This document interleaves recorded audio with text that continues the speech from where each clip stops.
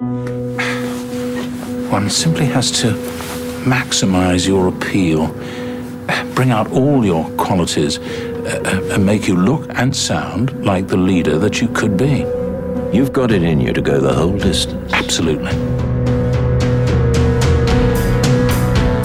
That hat has got to go, and the pearls.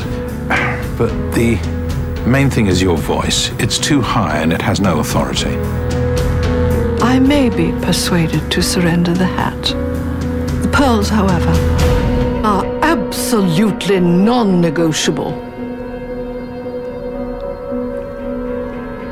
That's the tone that we want to strike.